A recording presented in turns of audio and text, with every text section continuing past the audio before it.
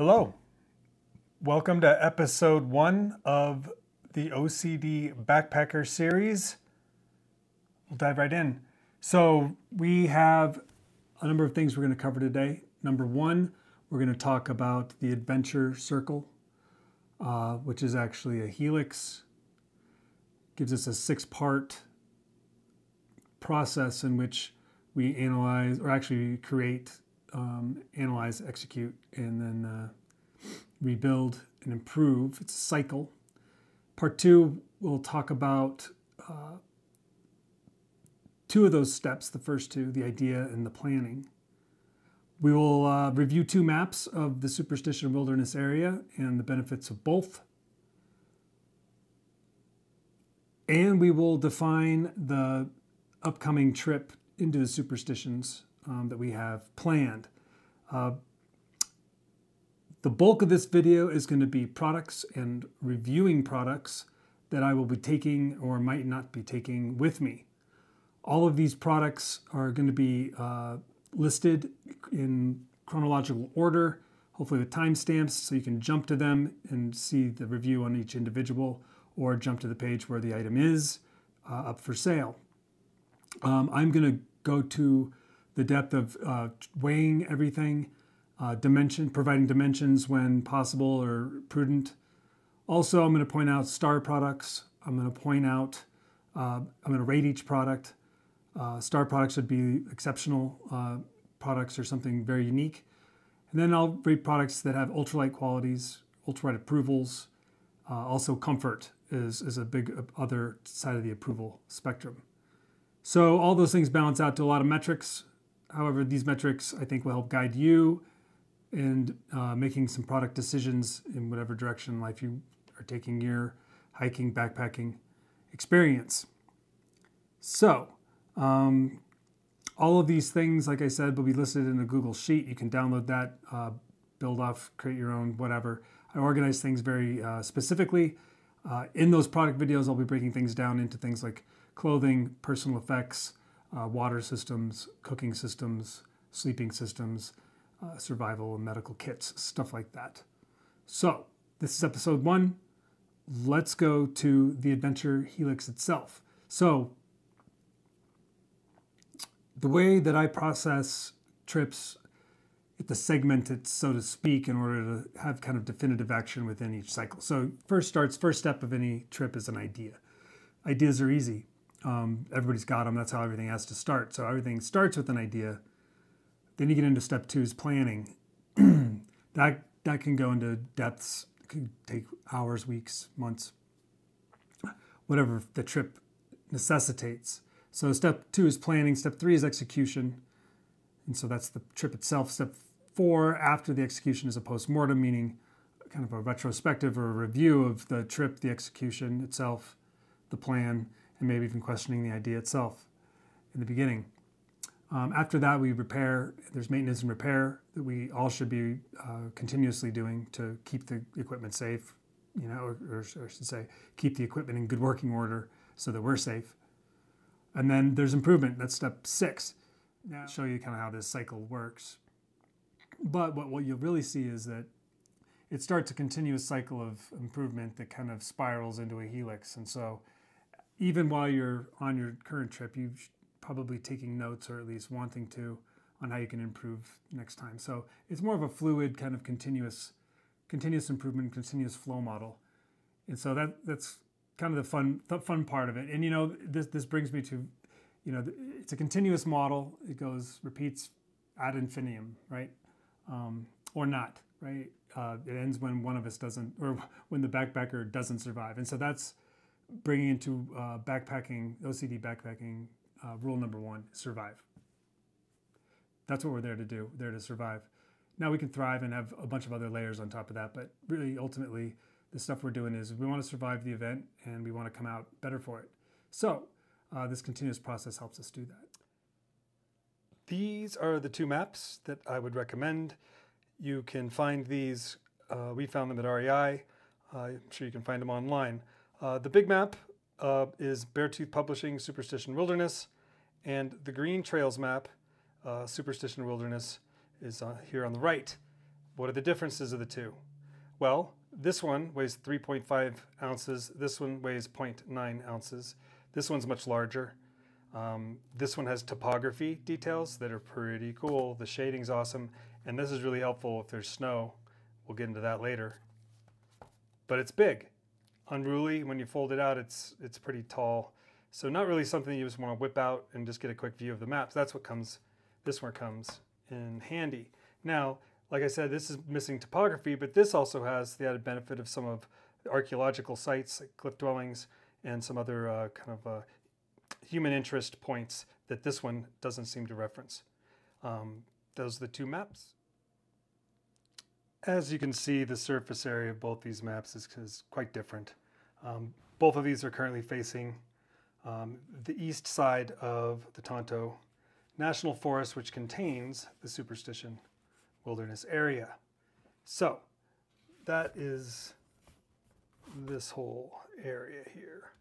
Um, superstitions. All right. So uh, our plan is, is actually quite simple. Um, and let me give you a little background to, for context. We have been hiking with this group for decades. We've been coming to superstitions quite often over the last decade. So there was two groups. One group of 13, they're heading in Saturday, and then there's our group of two heading in Thursday. So we're taking a different route in than our um, group, other group will be, but we have a rendezvous point over here at a place called Reevis Ranch. So our plan for this four night, four day, four night is to get to the trailhead as efficiently as we can on Thursday night to a place called Campaign Trailhead um, in a, next to Reevis Mountain School. And so that is a significant point. We've got a little bit of history there we're going to try to revisit. From there, um, our goal that evening is to uh, hike southward for a couple miles, 2.1, um, another two, goal about four to five miles, ending up somewhere along the Fireline Trail Thursday evening. Our goal then was to get to Reevis Ranch Friday morning, set up camp, do a little adventuring over here, uh, looking for circle stones. Um, then meeting our crew um, coming in on Saturday from Apache side, uh, Saturday uh, at 2 o'clock. So we'll spend two evenings here, and then as a group of uh, up to 15, which is the max allowed, we were going to exit Monday morning. And that is the plan. Switching to the other map just for visuals, uh, this is the Fireline Trail uh, and coming up to Campaign Trailhead on this map. So the goal would be to come down here, connect with Fireline, and then get up to this area uh, the following day after we drop camp uh, near uh, Reevis Ranch at a predetermined location. So four nights uh, and tell you the conditions. It is lots of water there's snow on the mountains. There's snow up there. So lots of water, not worried about uh, water conservation per se too much. I am bringing, um, uh, we are both bringing enough to uh, substance off very little. So it'll be a four nighter. We'll be bringing in all of our food, of course, and uh, backpacking. Our estimated travel is about 21 miles, not including eh, including a little bit of fun travel. So uh, this will be in February of 2023, and looks like we're missing. A, we're coming off a storm, and we might be uh, before a, a, following storm. So those are the conditions. We're looking at nighttime temperatures, uh, 40 degrees, 35 at the lowest, daytime 80s, 70s. So that's the current kind of outlook. We'll see what happens. My exploded backpack before you represents about 35 years of learning, growth, iteration, uh, all with the goal of maximizing uh, my personal joy and comfort um, when I'm in remote wilderness areas like I'm about to go into again. Um, been backpacking, fishing, hunting, and climbing all my life. Been across the United States, uh, shy about seven of those. So I've visited most of the United States including Alaska, but not including Hawaii. Beautiful areas, man. Beautiful places in the United States. Beautiful people. you get on the road and you, you find that out pretty quick. Been a few remote places internationally as well with backpack, business, pleasure. Love travel. So, this video is intended for kind of a smaller group of fanatical friends of mine who enjoy this type of kind of deep dive. I gander. There are a few other nutters out there that uh, might appreciate the effort I put forth in this video. I do a lot of spreadsheet stuff, do a lot of planning, do a lot of reflection. I also do a lot of just kind of field testing and stuff like that. But you know, this does demonstrate how I approach you know product management or any other kind of thing um, in life. You know, there's a misnomer out there. God is in the details is the true statement. And the one thing I do love are details because details add up, as you can see with weight, cost, things like that. This is not a cheap endeavor, nor is it a quick one, I have learned. There's only so much you can improve before, you know, budgetary concerns take, take grip. But, you know, in reference to these videos, I think the retrospective is something that is really valuable that I learned in work life that is definitely carried through in analysis and day to day stuff like survival gear and travel and, and this kind of extreme backpacking. So today I'm going to be uh, reviewing my loadout. This is a four day, 20 plus mile trek through the Superstition Wilderness region of Arizona. My old travel companion, business buddy, old friend from college, Daniel, is going to be joining me. We're being dropped off around 4 p.m. just south of Roosevelt Lake at Reevis Mountain School Thursday, February 15th. From there, we'll proceed around 1.2 miles heading east, then south by southeast. Little kind of trail that runs down that direction, and then we've got some we've got some choices to make. We've got a couple paths. There's a few few places to go uh, along the way. So we have a few alternative paths, but we, we anticipate that that first night we're going to travel two to six miles uh, before deciding on where to sleep. Uh, the next morning, we're going to make our way to Reevis Ranch, pretty historical place. And uh, the following day, we'll at a predefined location near Reevis Ranch, we're going to be meeting 12 or 13, maxing out our, our uh, group capacity at 15 uh, Saturday afternoon. So we'll have two additional nights there, and then um, all 15 of us um, or less will be checking out of there uh, eastward, kind of east, a little northeast, east by east, northeast. Yeah, located Apache Lake where our, our uh, cars are located. So, uh, temperature ranges, uh, looking at the reports, looking at 40 to 75 Fahrenheit. I'll put some Celsius centigrade scale up there for you. When I circle back, uh, the intention is to do field testing on each of my high graded items perhaps as much as I can, and I get to test out the solar kind of generative properties, see see how much uh, juice I can get out there while I'm out there. But I'll do product uh, videos on each individual thing so that uh, somebody can use this as more of a table of contents, so to speak, and then have the links from the table of contents in the description below actually launch the actual product uh, reviews individually so you don't have to scroll through um, so they'll be locatable in either way. But yeah, so this will serve as a table of contents. Uh, what I'm going to do next is insert the, the, the weighing videos. Item one in uh, the superstition hikes is going to be a Patagonia wool beanie, and it is currently weighing in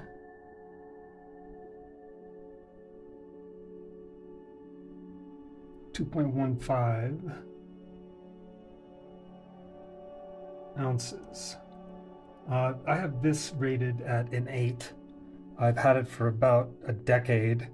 There's nothing truly wrong with it. I, don't think it's very warm, so to speak. It is a type, a thinner type of uh, material. However, it's a great wool hat. I can't, I can't uh, say anything bad about it because it's lasted so long. So I'm really stoked about that. So I would say nice solid 8 on that. Uh, I'll probably have it forever, but it's not the warmest. So the generalized temperature range that we're looking at is about 40 to 75 or so. Um, this is going to occur in two weeks. So the wool hat will work just fine for those, and it'll work down to uh, below freezing conditions. But for those temperature ranges, the, the wool beanie's great. This, however, is one of only seven items in my entire pack, and I'll be counting those items as we go, as I break each pack down. Um, but this is also an 8. However, dun dun dun, I'm putting star factor on this for a number of reasons. Most of them are, are, are just, I love this hat. This is the, I've purchased no less than a half a dozen of these. The other ones have either been given away or get taken away um, by friends who like them and they're welcome to it. I think it's just a great representation of a Colorado company. I love the logo. Um, it's bold, it's in your face. It's not typically my style. You can see it's got really nice, thick applique work. Uh, it's got a band. I would say for hiking, I'd like to put a, uh, a brass grommet right in the middle there so that I could latch this onto a, a uh, carabiner. But that'd be the only like modification. This design itself is just super cool, and that's why it gets a star. Uh, Aksels is a company that I've bought tons of socks for, um, and from, and then also these hats. The hats are just super cool. Anyways, very nice addition. It's not really, I'd say, anything special as far as performance per se. In fact, it's probably just a normal seven or something, but because of the cool factor of it, I put it at an eight. But it's got a star factor, so um, I adore this hat. It's gonna go with me. Yeah, I know you're probably saying right now, and my friend Tamis is saying it. You're gonna weigh everything. Yeah, pretty much. I'm gonna weigh everything, and uh, the reason I do that is uh, because I really do like the science of it, breaking it down, seeing where I can save space, time, money, because um, all those things are related to one another. But it's fun just seeing how much true weight I pack in and pack out with these post, um, pre and post measurements. So yeah, gonna measure the glasses, Tamis, and uh, you're gonna like it. Coming in at a solid nine is this buff UV uh, bug neck gaiter. Uh, weighs nearly nothing, 1.35 ounces. It's made of this fantastic stretchable material, goes around your neck. This thing is a solid nine. I, I don't even know why it might not be a 10 because it's just so amazing. Um, why is it amazing? In the cold, it comes up and you can use it as a kind of a windshield and a cold shield layer. But otherwise, this is a life-saving product. Like this is great to keep the sun off your neck. And so even if you're wearing a baseball cap, like that non-high performance, uh, you know, hat that I love, if I'm wearing that in the desert, I'll be sure and put this behind my neck, so it'll cover the back of my neck. Um, one of the most, yeah. Truth is, is skin cancer is real. We we lost a friend about a year and a half ago to skin cancer, Jay. Um, yeah, it can hit anybody. So get get your skin checked. And honestly, up here at elevation in Colorado, it's like 3x the the bad rays that can cause that kind of cancer. So I would say that this is is just one of those amazing products uh, that I, I, keep and I use daily um, on my hikes uh, around Highlands Ranch. So I would highly recommend this product uh, or something similar to it. You can get any of this. It doesn't really matter brand, I don't think. However, this brand's got some cool patterns. I just happen to like the color of this one. And uh, it had some UV uh, added properties to it. So I would highly recommend any any hiker of any experience uh, one of these if they haven't experienced one. It's just a great little utilitarian piece of uh, product. Another really high rated product is this ExOfficio Insect Shield synthetic long sleeve UV shirt. Now I've I've worn this to the tops of 14ers um, and also in the jungles of Nicaragua. I love this shirt. The only downfall of making it not a 10 is it's just ugly.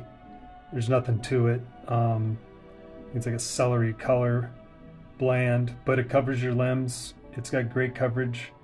double layered protection, kind of a ripstop material. Never, never had a rip, never had an issue.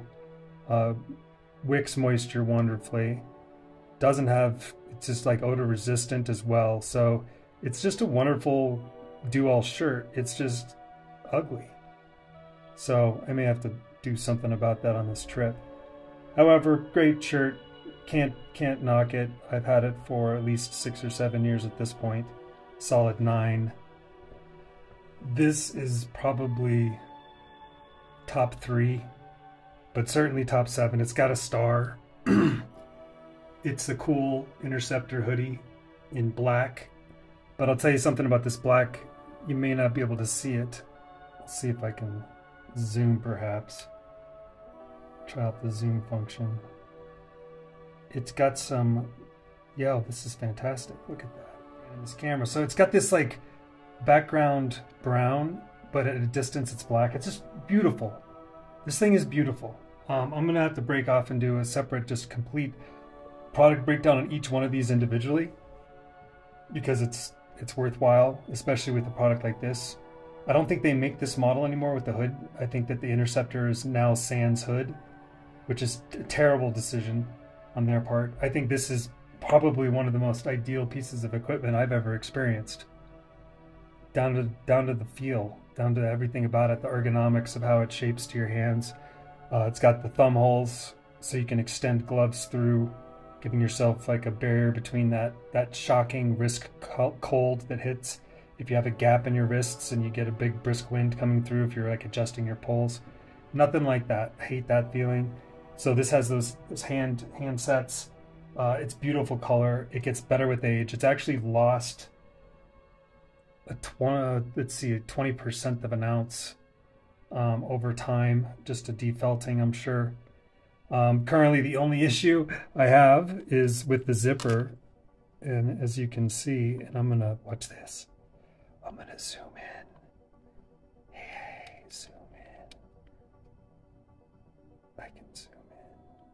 Zipper's busted. Um, whatever. I'm gonna test the Kühl. Um, when I get back from this trip, I'm gonna test the Kühl, the Prana, and um, the the Patagonia warranty repair policy and I'll make a separate video just side by side with I'll do it at the same time, so my request will be the same time. I'll have everything ready to to ship in a first class box or something ready to go, but I'll, I'll do it all at the same time and see what the response cost turnaround time is. But um, yeah, no complaints. I mean, zippers are going to fail. That's not a, you know, it's probably from that KKY company or whatever that produces all the zippers in the world. I uh, can't fault them, but if they could replace it, that would be wicked cool. Um, we'll see. But anyways, yeah, this is a strong 10 plus, 10 star um, star factor. It's just fantastic. Uh, I've had this for approaching seven years, and I can just I just love it. So you should too. Um, Kühl, call me. Next up here is one of the most beautiful pieces of equipment I've ever owned. I'm a sucker for orange. I'm a sucker for, for green. I'm a sucker for this golden green sweater. It's just gorgeous. It's a formerly a Patagonia Performance Better Sweater hoodie. Um, it weighs in at 15.9 ounces. It's a solid Super 9. You know, if I didn't have that Kühl, this would be this would be in my bag, but I'm pulling it. Um, the reason being, it's like having two betta fish four day trip. This is a pound roughly. Um, I love it. It also has a zipper problem, however, and that zipper problem is the reverse. The bottom one uh, un- come, comes undone, and so it actually kind of unzips from the inseam, and then you just unzip it and rezip it. But it's it's at the point of failure. So I love this product. I think it's gorgeous. I I don't think there's anything wrong with it. I think they'll it just lacks I think it lacks uh, zippers and, and uh, kind of the extra pockets that the Kühl has. Now, I won't be able to do a side by side on the trail, but when I do my product kind of uh, evaluations and formally out there, and I'll break everything down one by one. Uh, you know, I, I only think that if these two sweaters had a baby, that would be the only way to make a better sweater. And it would be sort of like a hideous it'd be sort of like Rockefeller having a child with like the Walmart family or something. Like it there's a lot of ways to celebrate, but there's like a a weird thing going on there. I think that would just be it would be the most beautiful thing in the world or like an abomination. But until that happens, until they make babies, uh, yeah, this Patagonia, I can't knock it. It's gorgeous. It's beautiful. Uh, we'll put it in the zipper challenge. Although the Prana pants are more of a buckle slash cinch challenge, but similar, same. But yeah, uh, I highly recommend it. It's warm, it's great, it's thin, it's light, and it's gorgeous. Here we're reviewing some outdoor research OR trail mix gloves in tapenade. As you can see, they're pretty light, coming in at 1.8. Uh, these are large. The thing I like about these gloves in tandem with the Arc'teryx is that I'll show you. These work as an insulation layer or standalone glove, which is good for ambient uh, ambient temperatures like the ones I'm going into. However, if it does get a little cold, get these. I'll knock the lights over. These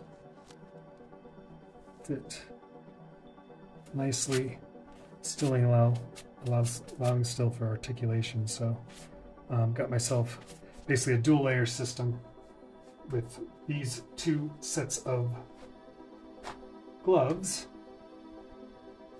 in tandem with one another. So it's 1.85. All right.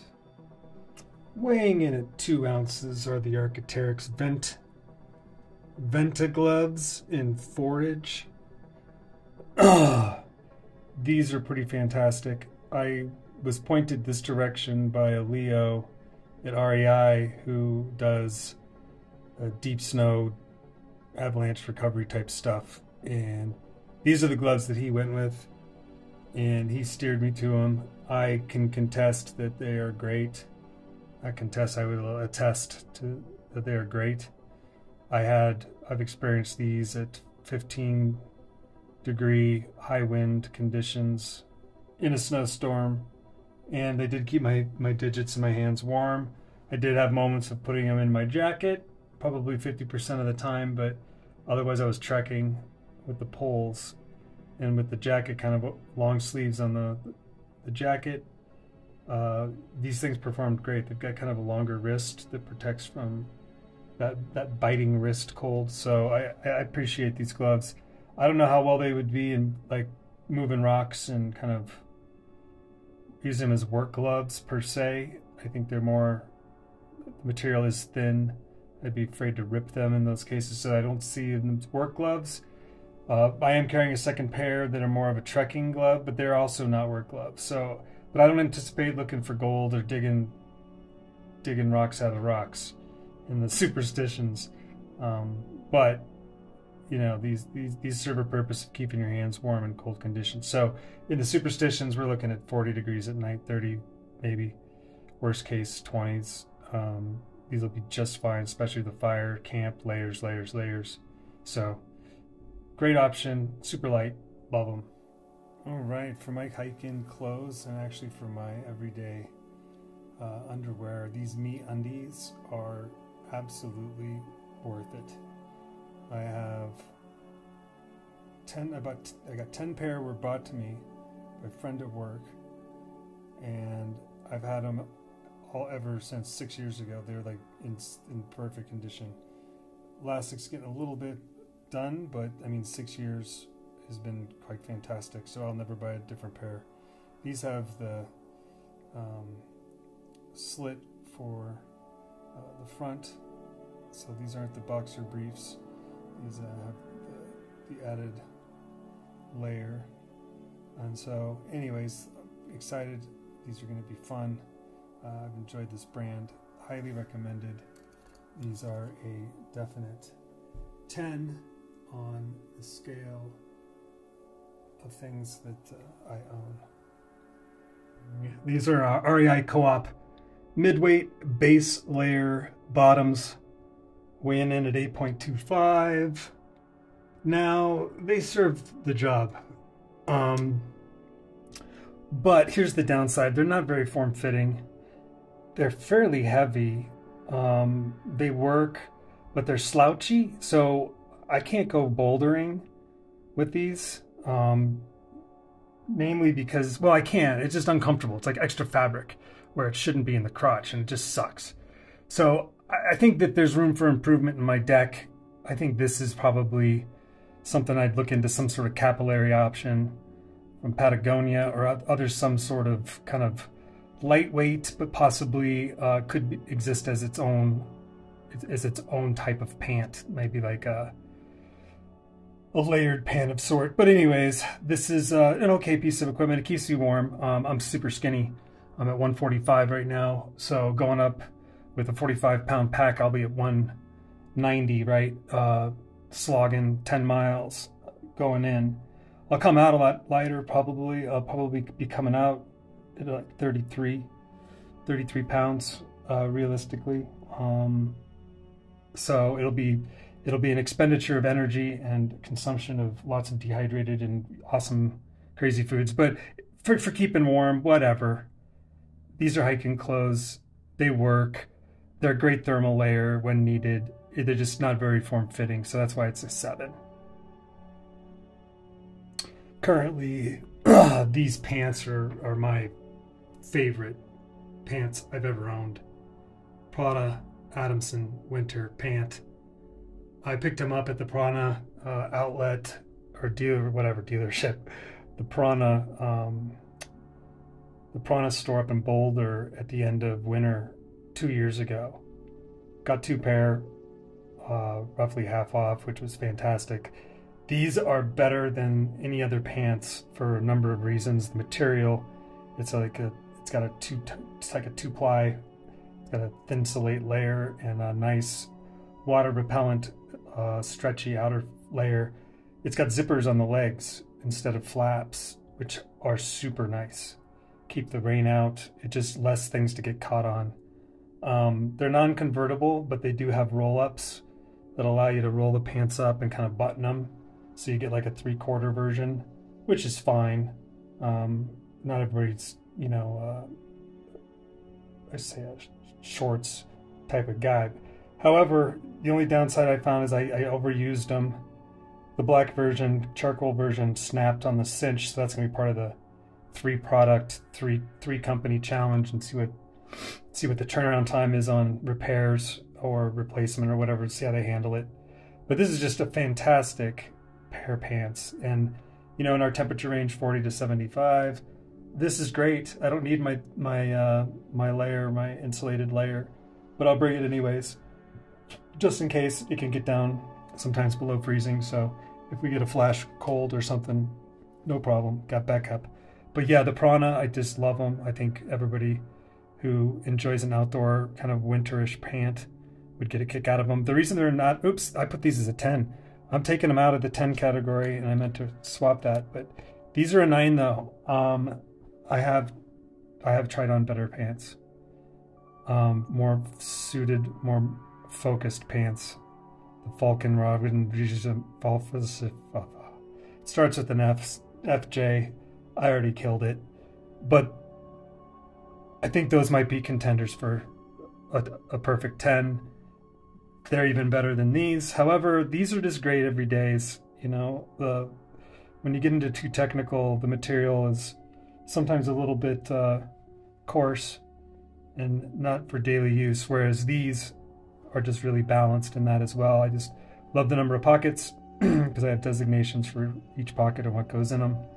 If I get three pockets, it throws me off. So I really do like these four pockets, four pocket systems. So yeah, uh, great great pant. I'll do a, a, a, test in the field and show you all the the details of them uh, when I'm out there.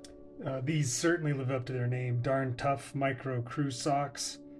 Uh, 2.6. Let's see what the weight is on these guys. 2.45 on scale. I'll be hiking in with these. They're just great. you know, I used to wear cotton uh, eco sock, and I've never had issues, but a good friend of mine, call him the shaman, who also does tours of the Grand Canyon deep for long durations, he uh, he just swears by an old pair of wool uh, synthetics blend, and these are that. These are just fantastic. They're they're short on the ankle, but you know this is Arizona. It's going to be a warmer hike, especially where I'm used to like hiking around at 30 to 15 degrees, stuff like that um, here in Colorado. So for me, uh, these are just going to be great. Um, I'll get into the other socks when we separate the bag itself, but these are going in a solid nine, and they look cool.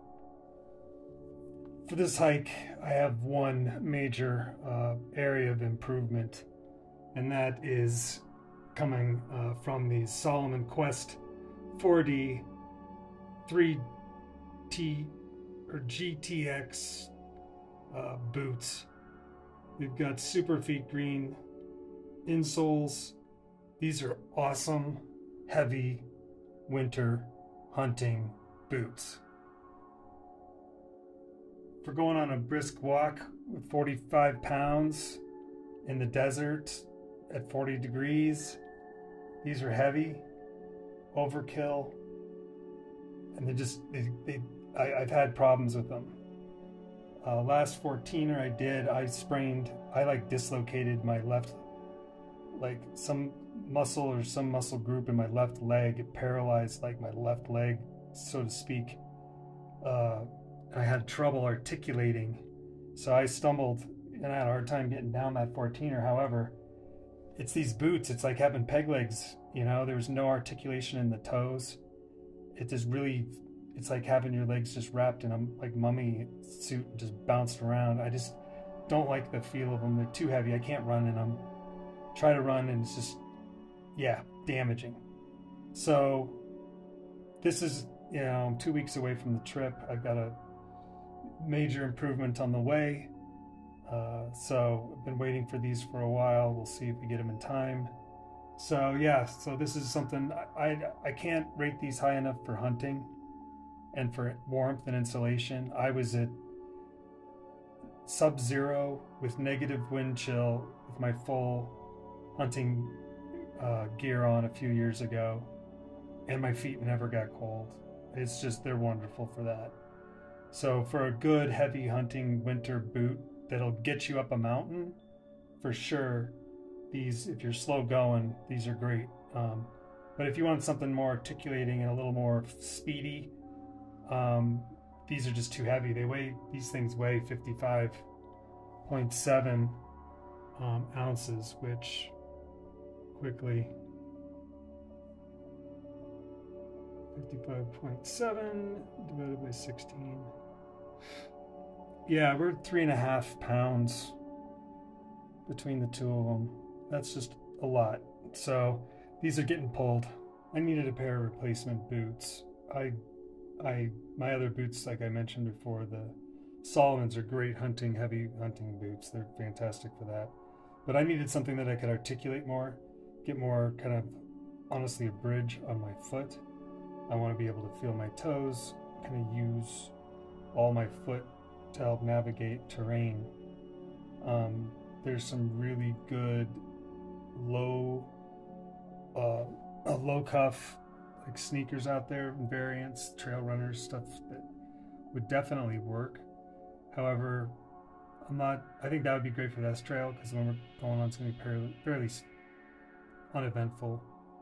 Not a lot of rigid, you know, hand climbing or anything like that. So a normal pair of hiking shoes or kind of quasi, you know, hikers are going to suffice. But these for me, I think are are more for bigger bigger projects going up mountains, and they're going to give me the traction and the agility that I need when I want to run down them. Because I do like to kind of get a jog going and just let gravity help and bounce off the path as I go down. So these will give me a better experience for that. I think there's an art to it. It's kind of like skiing, but being able to jog down the mountain is a fun thing. Nonetheless, uh, came in two colorways. Um, this will be its first maiden voyage on a real trip other than around the block. Um, so yeah, they had a colorway. Guess what? Matches my colors. Okay. The other one was this aqua blue. It was pretty too, but you know, like I said, it doesn't matter what you look like. You can look how you want to look, and I, I like orange and, and green when I'm camping. It's easy to see. So these are going to be a new boots. Gonna start breaking them in on Wednesday for the formal, and uh, seeing how that plays out.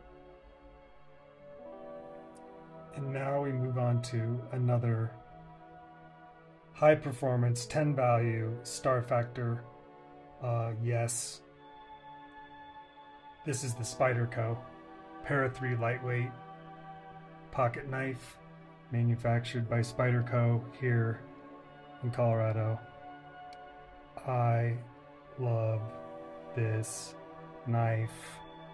I've had over a dozen Spyderco pocket knives. This was a gift from a friend, a dear friend Awesome man, Dave Schumann. Dave, this part is for you. Uh, the blade itself is is hard, keeps an edge. It's wonderful. Um, it's got a nice weird finish, kind of a matte finish to the blade itself. Um, but it's just it's a gorgeous, gorgeous utensil. I use it every day. It's as sharp as a razor right now, and I keep it such. Um, I may do a video on prepping it, but just, just, just a fun, lightweight too. We clock in at 2.4, 2.45, depending on, yeah. So it's just it's super, super wonderful. Lightweight, sharp, reliable, form-fitting. What else do you want? It's a 10. It's a star. It's one of the shining lights in my entire collection of tools. Thanks, Dave. I appreciate this more every day. Let's briefly dive into the Aether 70AG. Um, I'm not going to take off the secondary backpack, but this does have one of the most unique features of any backpack on the market. Now, this used to be a standard issue as part of this series. Now it's only for the Plus Pro, Super Pro, whatever the thing they're calling now is the top tier. But this backpack actually comes off, click, click, and this unfolds into its own backpack itself, like a day pack, which is awesome. So while I'm going to 14ers, I just dislocate this entirely because I don't need the extra space necessarily for weight, and I'll just go up with uh, this pack. So this is kind of like an additional space option for longer packs like the one we're about to embark on. So it's got multiple uh, kind of pockets and packets. These pole holders are quick release they are amazing when you know how to use them. I'll show you how to pull those up. Uh, but yeah, it's got a major, uh, it's got two main cavities here uh, in the center, gives you nice access. And then from the bottom, where we keep certain things, heavy things on the bottom. So we'll go through each of these pockets as, as we kind of pack this bag. Um, hydration system uh, drops in fairly easily. I would say that for my setup, um, the three liter is too big for this bag. And it is causing some kind of cramping issues with my hoses. And I'm to have to replace my hoses soon um, because of that and cold weather, stuff like that. So this actually protrudes a little bit, which is a little bit, uh, well, it's, we had to sacrifice for the design. I think this is more of a two liter back design. And so I'm sneaking an extra three liters sometimes, or an extra liter sometimes in on that. So um, now we're, getting into the more kind of nichey gear that you don't necessarily have to have, but if you don't have it and you need it, you wish you would have brought it with you. And that's this basically a, a rain guard or a rain um, jacket for the backpack itself. This thing is awesome. It's it's it's absolutely wonderful. In fact, in heavy rain, this thing goes on in less than 30 seconds once I drop the pack. Uh, it's fantastic. It form fits. It's got a couple clips. It's got a cinch and it's got a clip. But it'll protect everything um, from heavy snow to heavy rain. Fantastic system. Now, on the hike in, however, I'm going to be bringing a new sleep uh, kind of sleep level along, and, and, and that's like a fold out switch uh, switchback kind of mat that I'll get into when we get into sleep systems. But um, that's going to interfere with this being effective on the trail. So if it does rain, um, that's the only downside with my current configuration would be that I'd have to drop the the mat to accommodate for heavy rain. But if that's the case, in truth, the mat's waterproof, no big deal. Uh, we'll just keep proceeding forward in heavy rain or find shelter. Nonetheless, this thing is fantastic. Um, 3.7 um, ounces really cute accessory too. I mean, it just matches the pack and all that stuff, and it does form fit it. So, uh, really glad I got this when I did. Um, but yeah, it's 10 years of, of collecting this stuff, and finally, you know, you kind of you end up with what you got, and I'm pretty stoked on this. So, highly recommend the rain, the rain sleeve or whatever they call it these days, uh, by Osprey. Ultralight pack rain cover, large. That's what they call it. Uh, this Chums wallet is just a top-notch little lightweight, hyper secure edition with kind of a secret pocket in the bottom and multiple kind of areas to put stuff in. I, I adore this thing. It's lightweight, uh, weighing in when I load it with driver's license and core stuff at like 1.9 ounces. Alone, it's 6.5. Um, I keep this hook on my Aether 70. Uh, there's a red hook inside the bag itself. I'm just going to keep that with the Firebiner and then I'll have those two together uh, in the pack itself. But yeah, great little great little wallet. Um, my full my full wallet's just too heavy to bring in. It's a EDC. Got things that I don't need out in the wilderness, so leave that so at home, so to speak. But yeah, hopefully you need yourself a really cheap, good, solid wallet that won't fall apart ever. Um, it's got a little tiny like secret compartment. This is your this is your new wallet. Weighing in at uh, 0.8 ounces is the HeroClip Mini Carabiner. Now this is just truly a 10 product. I wish I would have found one earlier and it serves one major purpose and a number of other minor purposes. But surprisingly, my Osprey backpack isn't really easy to hang from a bush, from a stand. So what we do is we look at this guy.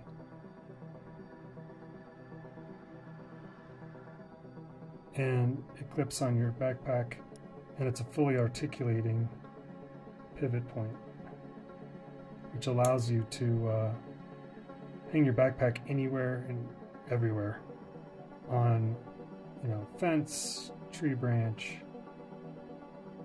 and it's just per- it's like a permanent fixture on my bag. I, I just love it. I can't believe I didn't get one earlier. I thought it was kind of superfluous, but uh, from a performance standpoint, it does exactly what it's supposed to do. It's really heavy duty. It's never failed. It's just reliable, and it's kind of a cool think piece. Uh, I love I love how the design and, and engineering and thought behind it really was very well thought out. So, um, just a beautiful piece of art, also a piece of functional equipment. Um, and it, you know, it rings in at 0.8 ounces. I don't know how to really hold it up, but that doesn't matter. It's cool. Love it. Next on the list is the Fire Beaner from Outdoor Element. It weighs just really shy of an ounce and uh, it's an interesting tool. And I kind of got sold on this thing for the single purpose of when I was on uh, Mount Gray, trying to make myself tea on Mount Gray, um, my my lighter failed. My torch lighter failed, so I had two lighter failures.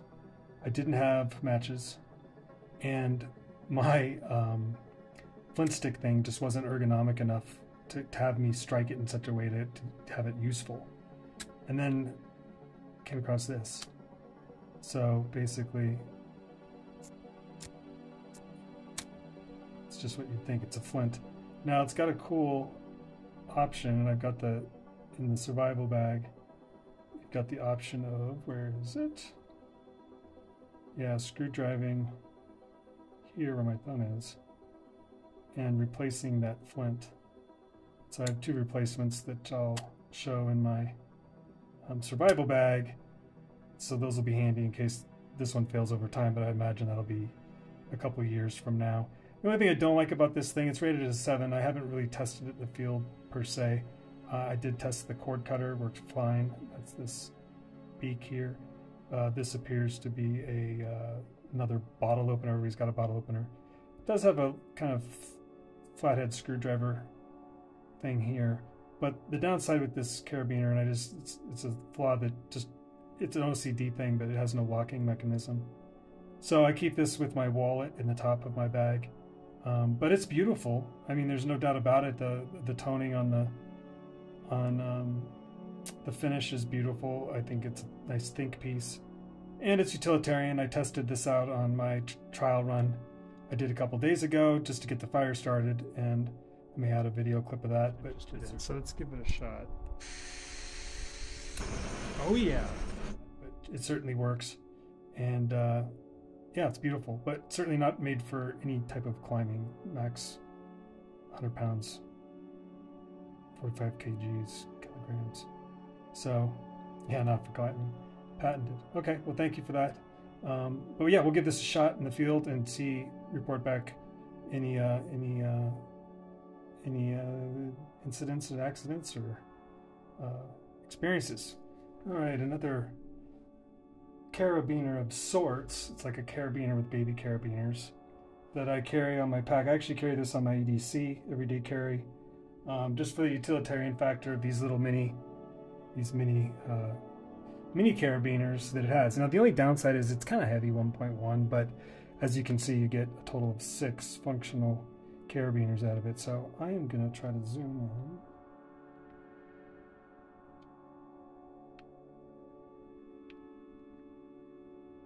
There we go. Perfect. And show you this guy. So it's a Nite Ize uh, Bigfoot locker key rack keychain. And I have a bunch of purposes I use this for. Mostly for either hanging stuff up at camp um, with survivor cord um, or guiding the wires um, for my battery system so that uh, I can actually have my back my solar panel on my backpack working and powering my battery pack, which then will give me more uh, phone use. So these are really really cool. And like I mentioned before, with the only downside with the the the fire beaner, as it's called, is that it doesn't have a locking mechanism. These all have their own individual locking mechanisms if you choose to engage it. Otherwise, they work as normal. Oops, off camera. Otherwise, they work as normal uh, carabiners. But the locking mechanism is a little bit of a hassle to engage. But there you go. So it locks. So these lock. It's cute. I mean, there's no doubt about it. This also locks, which is nice. So you have these as handy like backup uh, systems. Now, I also have hair ties. Having three girls, have plenty of hair ties, and those can work as kind of emergency um, ties. And they're quick and they're simple to understand and they're cheap. But yeah, this is just one of those things. I think the only downside is its heft, but you have six functional carabiners on the fly on the call so for me, it's it's it's worth the expense. I think they're just darling. Um, I think their think piece as well. Definitely worth talking about. The the foot design is just hilarious. Uh, but yeah, it's one of those things. It's like uh, it's utilitarian. Um, it's it's got a good vibe to it, and I just loved having it uh, and using it because it brings a smile to my face. And uh, yeah, part of survival is uh, kind of the style of it too. So uh, hope you enjoyed this one. All right, weighing in at 0.35 is another Nite Ize S-Biner Sidelock Carabiner number three. Beautiful toning on the aluminum. Uh, it's just really pretty. We'll zoom in. Um, and of course, I just mentioned, you know, one of the primary things that we like is locking mechanisms on our carabiners. Now, I use this on my front of my pack uh, because I like to latch lock one to my pack itself. So boom, so that'll be locked. And then this will be for gloves typically or other sort of object that I wish to hold to display light. Maybe could be could be a light that I put on there. But uh, anyways, yeah. So that's the kind of mechanism. It's double locking, super light, 0.35. Uh, great little carabiner. No problems with it at all. I think it's just nice color too. Uh, moving on to uh, water systems. Here we have the Big Zip Evo Platypus, three liter. Um, it's amazing large capacity of water, nearly seven pounds uh, at full capacity. Um, I think it's great. I think the only reason I'd rate it at an eight and not higher would be it just it's actually too big for my pack when fully loaded, and I have some binding um, with some of the hosing, and it just doesn't fit um, exactly as the pack would like it to.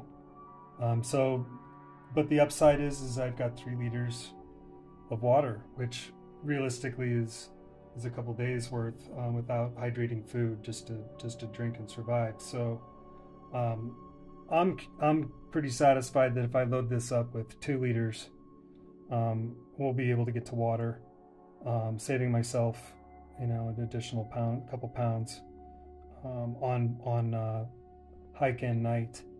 So we'll make that decision at the time. But it's a great system. I like it. It's like my third or fourth different version of bladder um, they all pretty much function the same. I like the quick release version on this. Um, I haven't had any problems um, with anything breaking apart, um, and I clean it regularly. So I might need to replace the hosing just from time, but other than that, it's a great system. Um, that'll be adequate for us to, for me at least, have enough uh, aqua to uh, to survive. If I said aqua, I meant agua such similar words. They have a similar color. Huh. Anyways, MSR Guardian Purifier. This thing is bomb. Shay, bomb, is that, whatever you want to call it. It's awesome. It's heavy, but this is life. So, uh, last time I was in the Superstitions a couple years ago, uh, we found a small, small, Tamis and I found a small uh, inlet of natural spring water. And we were able to basically take everyone's Nalgene bottles and other types of uh, water holding devices and empty our backpacks, and we just charged four miles away. And we used his version of this. Um, I didn't need to use mine. We had redundancy. I'm bringing mine because I'll be up two days before them. Um, so we're going to need this. So I'm excited to put this one in action. Um, it's a solid system. Um, you know, for me, the Nalgene bottles are just fine. They are a little bit hefty. We'll get to weigh in those in a couple seconds.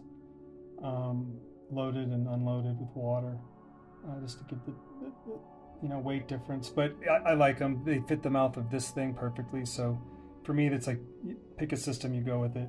So I'm satisfied uh, that that uh, this is going to be just fine. So yeah, I'll be reporting this in the field. Hopefully, get some cool backdrops of actually using it.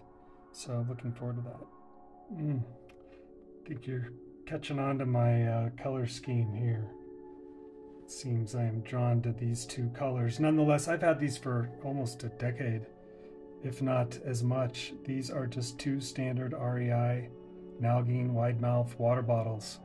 Uh, looking at the weight right now, 84.6. Um, that's quite a bit of weight.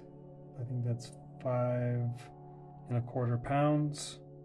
So on the 10 mile hike, five pounds is a lot. So I'm going empty. And uh, but nonetheless, this is what uh, I'll be using the water filter with. Attach onto the lids here after I sterilize the lids um, and the attachment and the interface.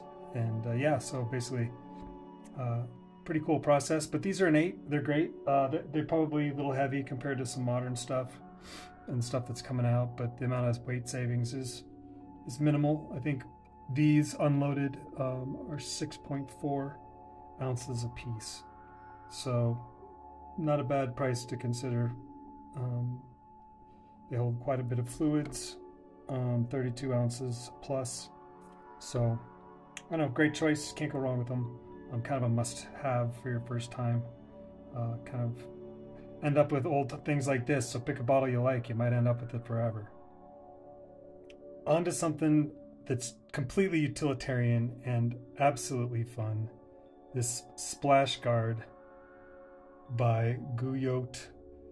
Guyot, I think something like that. Guyot. Um, Guyot Designs. It's just awesome. It fits in your Nalgene bottle.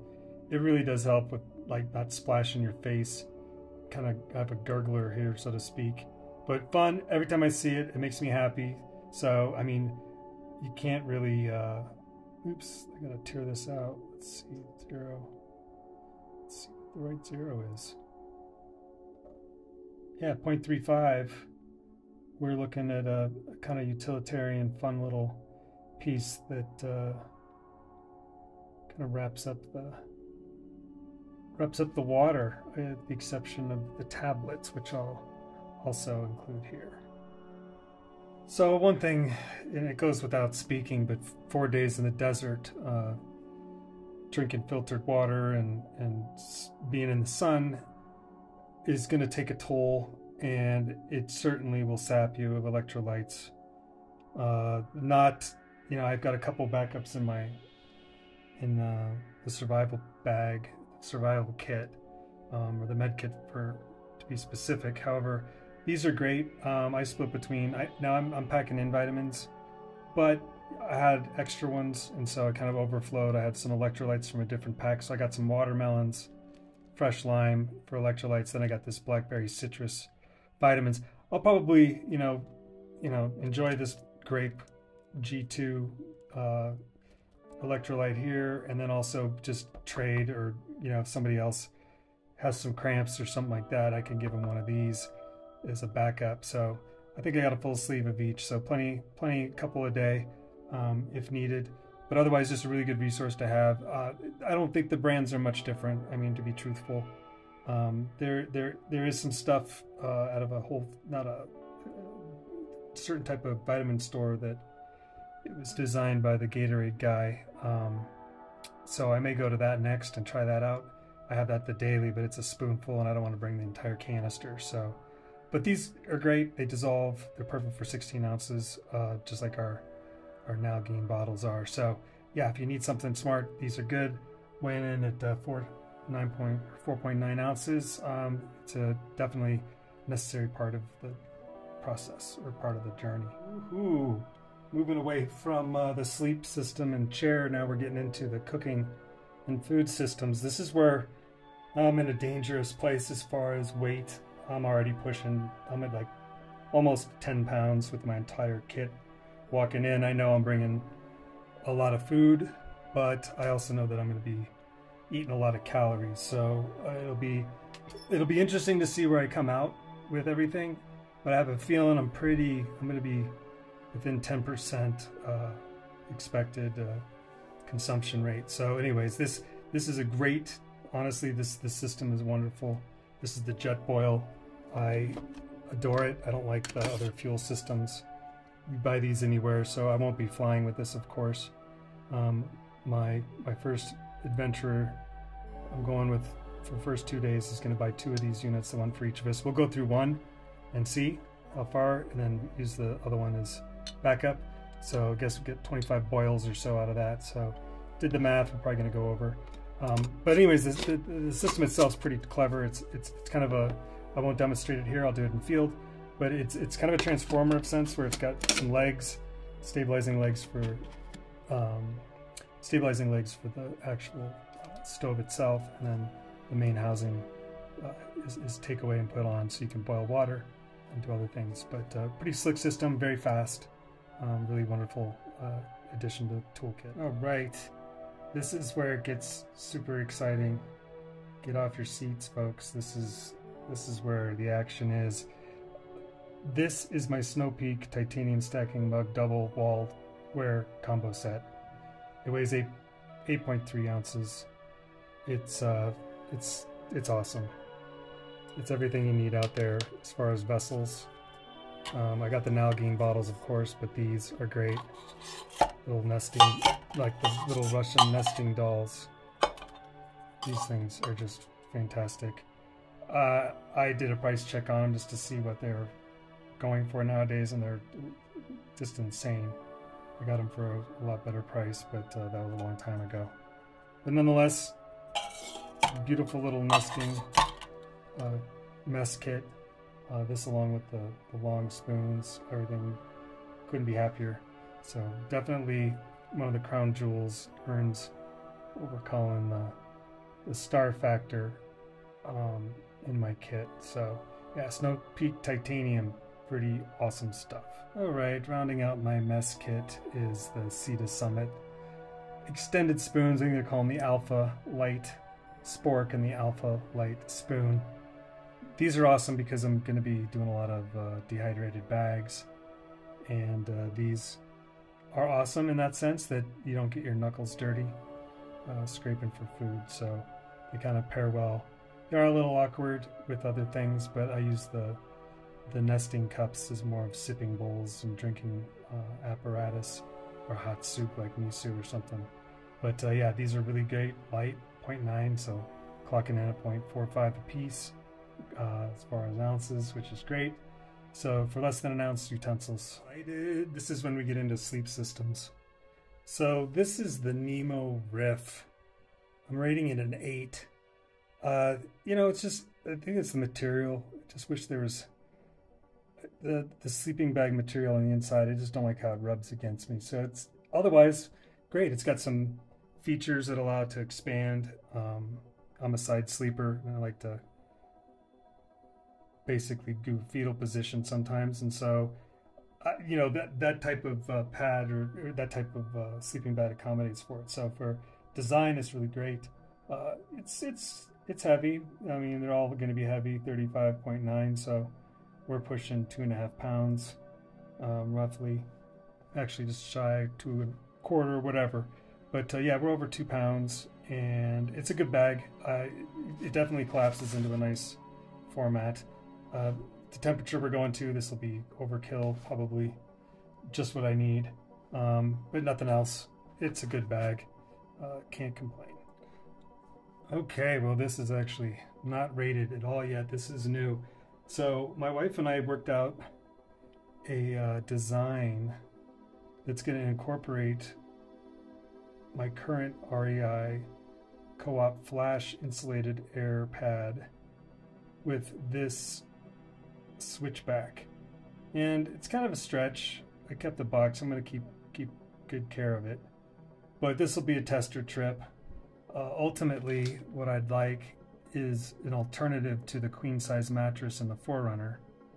So when I go up to 14ers, I can sleep the night before and then get up the mountain and be down the mountain um, and either at work before 10 or 9 eh, on a Friday. So I need a sleep system that isn't so big like that, like the big, and honestly, the insulation on the queen size bed isn't the best. It's thin, and then you have to. Anyways, it's a hassle. So I was thinking this would be a nice alternative, just a nice compact sleep system. So this gives us an R value of two, um, and it's got this reflective material that's reminiscent of like the solar blankets. So I think the combination of this with the with uh, the REI flash system and then encased in a in sort of like a sleeve or a pillow sleeve, so to speak, is a uh, two different material blanket. One, the bottom layer is going to be made of wool. Second, uh, ex- uh, the top layer is going to be of a quilted poly um, poly flannel, And so I'll have basically a, a sleeve for both of my sleep units to keep them together at night and also give me a little grip with that fleece so that my sleeping bag doesn't uh, slide all over the place. Now there's there's cures for that, but those of you who know know what I'm talking about. So, anyways, let's give this sucker a try. This Nemo switchback. It weighs in at 14, but it's light. I mean, it feels light. It's I put it on the outside of the the pack, and I'll, when we pack the bag, I'll show you the orientation. It doesn't bother me, and we're going to be in open space, so it's not like I'm worried about running into stuff. So, anyways, we'll give this a shot in the field. All right, this is actually two different products, and I'll, I'll break them out from one another. Uh, the first product is actually the REI uh, Co-op Flash insulated sleeping air pad in red hot. It's a regular wide edition, has an R value claimed of 3.7. Um, that's inside this bag, and it, it's a it's a good sleeping pad. I'm I'll keep it. I'll keep it uh, inflated. I'll repair it. It's nothing wrong with it. It's what I got. Happy with it. Uh, I do think that in Colorado, cold, I need a little more. I don't think this trip I'll need what my wife's making, but we're gonna do it anyways. Now I'll get to this bag in a second, which is actually a what I would call a like an all-star product. But here, REI Flash unit itself, 19 point um, 19.95. Put that in the computer.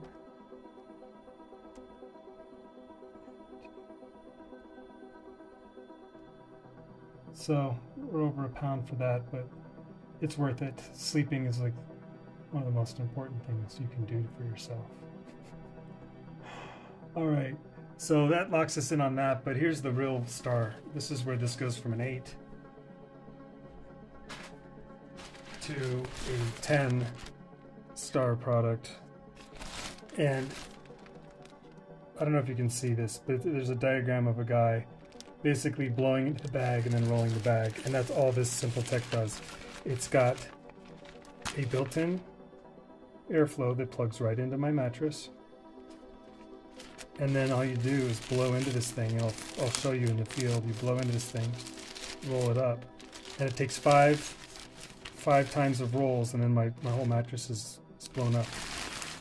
This thing is amazing. It's one of the seven things that I have that I would consider to be like a all-star product. Have to have. So nice, especially when you're out of breath. You just did 10 miles, you hit camp.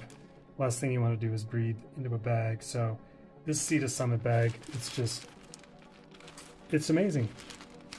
Sea to Summit Airstream Pump Dry Sack. And it also has a dry sack, so it's like three purposes. Blow up your mattress and protect stuff from getting wet. So, weighing in at 2.8 ounces is the pillow, pillow ultra light, large, really lovely, super light pillow. Fits wonderfully in the Nemo Riff 30 sleeping bag, mummy style. Uh, this will also get a pillow treatment by my wife to round out the system. My whole sleep system is currently at about 5.5 pounds, including this. That includes the chair, so sleep and chair system around 5.5 pounds. I imagine that I'm only going to be adding at least a pound, a pound, maybe two, with my sleeve. Now, again, I think that's one of those things that it would be overkill, and it certainly is for the situation. However, I think that testing out the new equipment and just kind of getting excited about my wife's um, my wife's ability to sew this thing has, has got me excited about it. So it'll be one of those sacrificial pieces, so to speak, just to get a smile and, and actually enjoy enjoy the night and enjoy the sleep time that I do get there. So, anyways, Aeros Pillow, gonna give it a shot. No rating yet. Weighing in at uh, 18.2 ounces is the Helinox Chair Zero. I'm pretty sure that they're selling this design to um, REI in their ultralights now, which is totally cool. I got this a number of years ago. I can't complain about it. The only orientation is like this side to side orientation. I almost prefer the A-frame version on these chairs. It's it's a total matter of preference, but it's a fully functional super light chair. I can't complain. I like the color too uh, on top of it all. But yeah, it's light. It's good. It's a nine. Um, I can't imagine what a 10 chair would look like, but I think it would probably just feel a little bit better. Uh, but like I said, I've tried, well, I haven't said, I've, I've had a number of chairs over the years, different, way different types. They, they all pretty much function the same, and really, this is where you can save on weight uh, quite a bit. So, having a nice light chair is, is, is, is really cool. After uh, re- re-tearing the scale, we're, we're looking at uh, 17, right, 16.8 um, ounces for my trekking poles. So I'm at a pound. These are surprisingly affordable. Got them at Costco. They haven't let me down. There are there are definitely more expensive options out there that are a bit lighter. This could be a place where I could save. I wouldn't call these a nine. Um, in truth, on my scale I have over there, these are seven, and I'd say due to their weight, they're a little dirty too. I gained 0.15 ounces with that dirt on on the tips there. So my practice run for for this trip coming up, my first major practice run was 6.7 miles with uh, about 34 pounds on. Um, my next one on Wednesday is going to be full gear, so all 45 pounds or 43 pounds, whatever this comes out to in the end, will be uh, will be tested. Two liters of water, etc. But uh, as far as poles go, these are great. I I like the poles. I like the the Aether 70 has the most clever, easy to access pole management system. I can get to my poles from my backpack without having to take my pack off. Um, it takes a little bit of practice, but you can do it with one hand. I love that quick release mechanism that that, that provides. Uh, so the, the poles for me are almost a necessary evil. I've got a I've got uh, an unusual hip, so I've got to, you know, spread the spread the burden, so to speak, which isn't bad because you can really get a good arm workout uh, if you know how to use the poles in more of an aerobic way. So, uh, yeah, gl- poles. Sure, I, I would love to try out some fancier ones, but and, and don't really need them. So unless somebody gifts them to me or I get, you know, some sort of option to review, I am going to stick with these. All right, so kind of a gimmicky product, but nonetheless something that I enjoy. You got to have a good headlamp. Um, a headlamp is essential. But I like this little carrying case because um, it doubles down. It's kind of a nightlight. So you can use your headlamp with this kind of diffuser to give yourself a little kind of diffused light. So, kind of a cute little thing.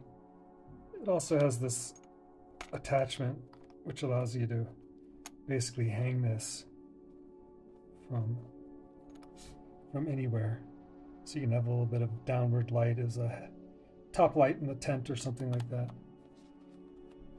Waterproof, not that it necessarily needs to be truly, but yeah, it's got a little water, almost waterproof water would get in there, but kind of just fits handy dandy. This is kind of an older, older unit, but uh, works just fine. Uh, this Petzl headlamp is nothing anything special. Actik, it's not a fancy one. It takes three triples, which is nice because I have six as my backup. Um, one, two, three, super bright and off. You hold and press, and get red. Hold and press, get white back. Medium. All right. So just a nice little headlamp. I wouldn't say it's anything wonderful. Eight, I think, is good. I think it would probably be a seven if not for this kind of funny secondary um, secondary feature, which is kind of fun. It's just a little diffuser of sorts. A handy little thing. So yeah, it's a fun little headlamp. Um, just part of the power and lighting systems. Uh, get on to the next. All right, the contents of my orange three liter Osprey uh, dry sack is my medical kit, my repair kit, and my kind of survival stuff. And so we're gonna break this open. This is where our number of products rapidly multiplies. So At the base, I've got my survival kit. I've got, I've already weighed these. I've got some loose items, which represent sort of their own unique things, and that's the survivor cord and six hair ties. These hair ties can be used as uh, anchors, number of hanging things, uh, just really utilitarian. And then, of course, the survivor cord, which inside the med kit has the instructions for all the different threading in there. Um, this doubles up as I used to carry an extra uh, shoestring, but uh, realized that this is redundant. Uh, knee brace, I had issues with my knee. There's a light version, I've got a heavy knee brace coming. That'll be included in this section. But then, of course, we've got the big kit, the medical kit, and uh, that's really, really the fun. There's like 24 different products in here, and uh, each one of them serves a distinct purpose, of course. But most of this is like trying to optimize what you have. So I carry two of these emergency blankets, and the reason being is they're good to have, and if somebody needs one, then this gives them that extra layer of protection, especially in a cold out. Inside here, I've got some handy things, just to kind of a go-to quick, cheap, not cheap, I'd say quick, easy guide for certain basic, basic uh, emergency stuff. Good to have in case of emergency. People are freaked out. Nice reference. Also, I've got that uh, survivor cord breakdown, so keep that handy as well. Um, one of the coolest things out there is this moleskin. Uh, this is a backpacker's best friend, especially if you have any issues with your feet. You can cut this. Um, in fact, I practice on the corners. Um, you can cut this really simply and do a design. So if you have a blister or something, give yourself a layer of protection around that. Um, really good stuff, high quality. Um, yeah, moleskin. These scissors are a new addition. I took out my uh, EDC shears. These are much more dangerous in case of a situation. These can actually hurt somebody. Cut. So I wouldn't use them to cut their clothing away, but for precise little tiny cuts for bandages and stuff like that, these are really good if you have a calm hand. Super sharp, ultra light. I mean, these things don't weigh. Let's see. Let's see if it even registers. 0.2 ounces. Cute. Um, extra salts. Uh, you know, silicone repair kit, Silnylon patches, tenacious tape it's called. Um, this will help with, you know, certain uh, things breaking, certain clothing, anything with silicone. Uh, this will help treat or repair any tears, tears, rips, stuff like that. All right, into the medicine side, Neosporin always good gloves, gauze, necessary super glue, different sizes. These could save your life, literally. A little extra gauze, some more kind of custom made Dr. Scholl's knockoffs, gauze, Q-tips. So that's that pouch. Surprisingly a lot of room in here. Stop bleeding kits here. Um, it's just a big pad. And then uh, medications, cuts, scrapes. So in here, I'm not going to pull it all out. Antidiarrheal, afterbite, um, after sting relief um, medications, ibuprofen, alcohol tolerates, um, other things like that. I could probably use some more ibuprofen. Um, but yeah, pretty pretty awesome. And then deep inside here is another Guide to Wilderness Medicine, kind of a deeper kit. Um, so if you want to get deeper on something, you've got that built in. So really kind of a cool little uh, med kit rolls up, a little over a pound but uh, highly effective in uh, all sorts of things, with the exception of a tourniquet, really. Now, this, ooh, and these are all these are all nines. I'm happy with how these have been built out over the years. So this contains a number of products as well, packed in tight with a nice little cute, cute, cute dry sack. I'm a sucker for a dry sack. But uh, let's get all these little guys out of here. So we get the sack, of course, standard lighter. I'm missing matches, so that's one thing on my list. I'm gonna get some Everstrike type things. This is a signal, uh, in case you get lost or something, or if you see other people, you can just point this your eye through it and kind of shimmer that and get the reflection to go towards them. Kit, fishing kit, kind of never tried fishing, a little overkill, but it's got three uh, clothespins in there that are nice. Well, fire starters, um, and then some replacement ferro rods for the igniting the carabiner, the Firebiner. Um, duct tape, little plastic cylinder in there. That's how we got it in there, anyways. Yeah, there we go. Um, batteries, backups, right? Headlamp. Um, keep these two 30s in there just because people use that a lot. Backup for the people, compass, baby compass, and two repair kits for different types of uh, equipment, different types of fabric. So yeah, we got a lot of repair stuff in here, but totally in in this section we got what, repair kits, one product, whistle, two, three, four, five, six, seven, eight, nine, 10, 11 products with the with the dry sack. So kind of nifty. See how many things you rely on when you're out in the wilderness. Um, things you hope you don't need, but most of them you might end up needing. Oh, next on the list is uh, sunglasses case. Yeah, it's not a nine. Whatever. It's just a seven. But whatever. These plastic it helps from getting collapsed in transit on the airport. Whatever. They're light enough. But uh, got my sunglasses inside there. So 2.35. Um, not bad. Whatever. Um, again, we need sunglasses with polarization, preferably, um, and just something nice to get the UV out of our out of our uh, eyes over the trip. So, anyways, for weight's sake, 2.35. All right, kind of dipping into the hunting category, uh, I found this KUIU KUIU belt. I can't pronounce it. KUIU belt. Uh, nonetheless, this thing I've had for six years of daily use. Obviously, it's frayed and torn, but that nylon's not going anywhere. I use this to pack a motorcycle as an emergency strap.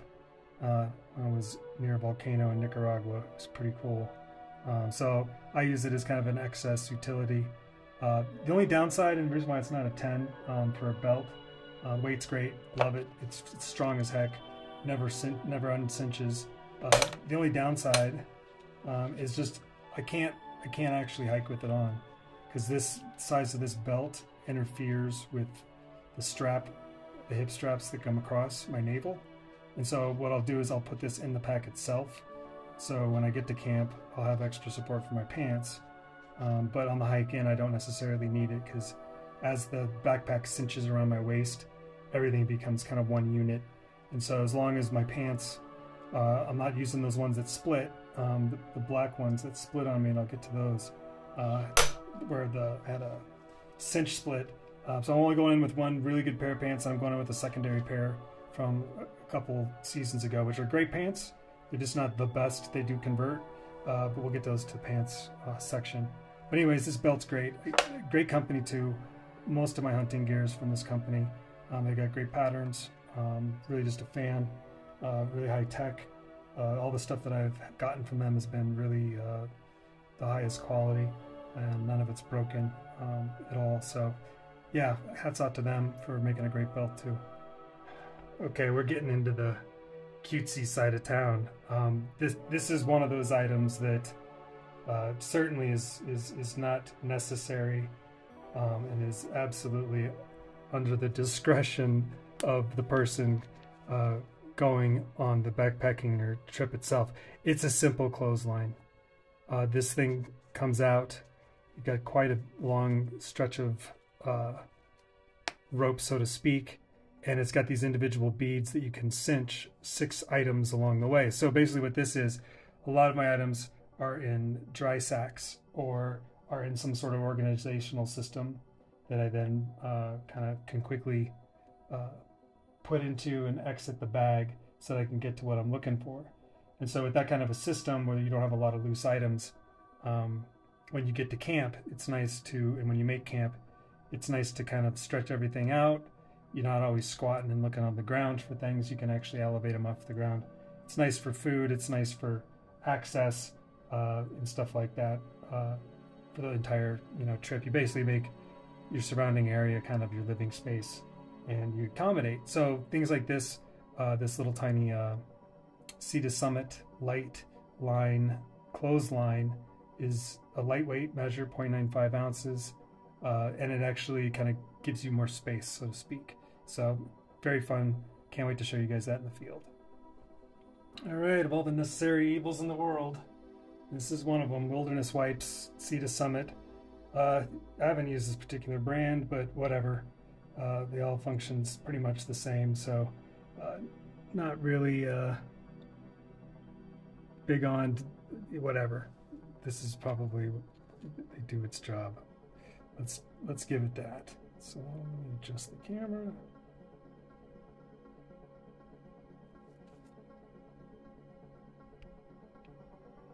We go. So yeah, Sea to Summit Wilderness Wraps. Uh, I put them underneath my Nalgene bottle on my right hip. Uh, it kind of balances out a load, and then I balance out with the batteries in a different way. All right, here we are at uh, 32 ounces. This is my green three liter dry sack from Osprey. I uh, this is going to be one of the more controversial pieces of equipment. It's an older Zero, Goal Zero Nomad, which is a fully functional solar panel.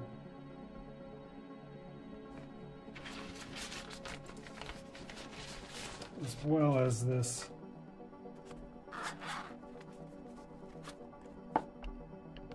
Venture 30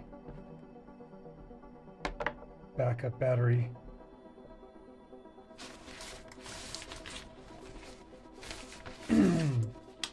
and of course, cords. It's all said and done. I'm rating this as a seven. Um, it's it's heavy. It doesn't really provide all of that much fantastic power. However, it does work. And I'm going to need power on this uh, trip because what's coming next is uh, going to be using up a lot of battery power for these videos. So going to need this and another solution in tandem. Good morning, everyone. Still in the power and lighting systems category, we got two lighting options that are pretty cool, both solar panel, uh, both from MPOWERD. This is an older unit, an older R2 unit that I will demonstrate here that's pretty quick and easy. But it's a solar panel, solar powered, I should say. It's a solar panel that solar powers the light system. And it's a blow up. I shall demonstrate real quick. Now this is an older, this is one of their first, first ones.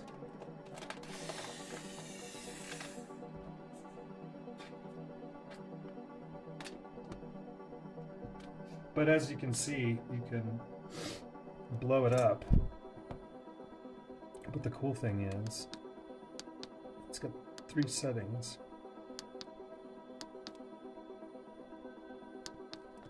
that allow us to have an ambient light. Plug came unplugged. Yeah, so it's kind of cool. It has a little hanger um, on both ends so that uh, you can hang it from the ceiling this way, solar panel up if you want it in your tent at night. Um, or you can hang it from the side as well if you want the light to shine up. Um, either way, really fun little unit. You just throw it out in the sun during the day and then it is enough light for beyond. Now, this unit's kind of got a clear plastic. The new ones have more of a frosted, and it gives a better diffusion pattern. But in truth, this is just a fun little light. Uh, it does kind of weigh in a little bit heavy. Let's see where we're at. 4.4 ounces. So it's reasonable. Um, it's nice to have. It doesn't require batteries. Uh, it's reliable. Charge before you go. You've got at least two days on it, reasonably with, you know, limited usage at night. So I love this thing. It, it could be lighter. It could have a better frosted covering, um, like their newer versions. However, I'll, I'll use it until it's done. Yeah, I realized that the lights were off, but that's fine. Um, I think it's good to demonstrate the colors and the, and the other lights. But uh, yeah, anyways, another little tiny funny thing about this unit is that they kept the same form factor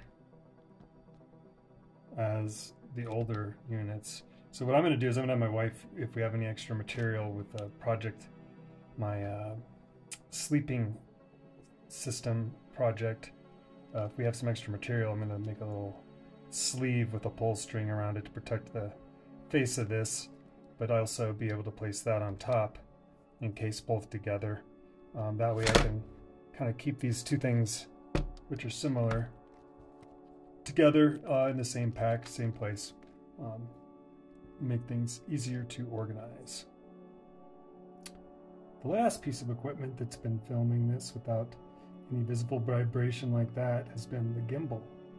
It's coming in at 17.85 ounces, so just over a pound. This allows me to keep the camera like stabilized, uh, as well as hooks uh, neatly up with the recording system and the microphones. I'm currently not using microphones as I didn't have them, and I finished this series out by using the same technique, but uh, moving forward, mics only. Last on the electronics list is the DJI dual mic set with receiver and chargeable rechargeable battery case. This will require some battery as well over there, so hence we need the solar panel and the, the backup Luci solar light. So we'll see those in action. Inside the Kifaru uh, little little bag here is just my eye eyeglass uh, stuff uh, and pair of headphones, wired headphones. So I'm bringing me the, the wireless ones, but I'll also just probably pack so 3.45 for that. Um, and then I'll be packing my handkerchief in there as well. But uh, 3.45 puts us at, um, but wait for this item. Can't go camping, can't go backpacking, can't go very many places without having a need for a bandana of some sorts. Now, I do have that neck gaiter, which does some pretty magic things, but you know, just having a little uh, extra bandana around uh, is nice to have for sure. 1.35 ounces, it's not too big of a sacrifice either. However, these things do add up. This is going to act as a pre filter uh, in case of, you know, a dirty pond uh, or some other way where we're not don't have direct access to like liquid water, and so we may have to pre-filter um, and do some stuff with our Nalgene bottles. But nonetheless, this is just fun pattern. It was on sale at REI, so I got it cheap. Um, but yeah, like mushrooms. Oh, so cute. Little frogs. Little frog guys. Hey, froggies. What up, dude? I'm ready to go camping. Me too. Here's where we get to some kind of diff- difficult choices being an artist and wanting to also kind of make this as an integral part of the creative process while I'm up there.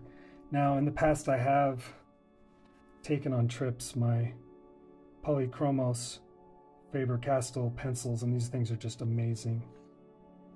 They're they're a fantastic coloring pencil. Got really good tone, deep, just gorgeous. But as you can see, 13 ounces. We're almost at a pound. And I'm like pushing 40s, mid 40s right now. And in truth, you know, I don't think I'm going to be worried so much about the colors and stuff while I'm there. My goal on this trip is to come up with like six designs for my wife's cross stitch kind of uh, obsession. So I want to come up with some simple designs of the flora and fauna of the superstitions during this time. But I think I'm going to be able to accomplish it with this art kit, and I'll kind of.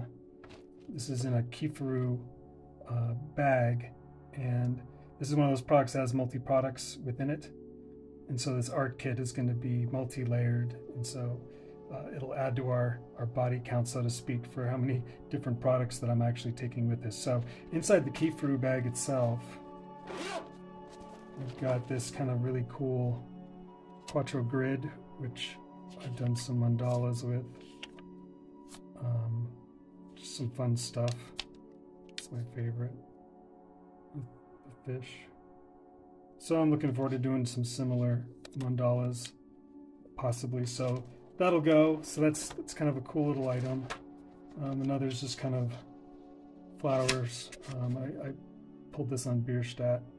So this is where the colored pencils were nice to have up there. I was able to punch that out, but um, I think it's okay. I can do outlines and I can do photographs and I can bring the pencils, just not have them um, on the actual trip. And I can take the next couple days after the trip to maybe come up with those designs and uh, have something to to give my wife and then share with other people because we're like the, the, look and feel. I'm really looking to for the, to find the, like six or seven colors that uh, are of that trip, but I can capture those with camera.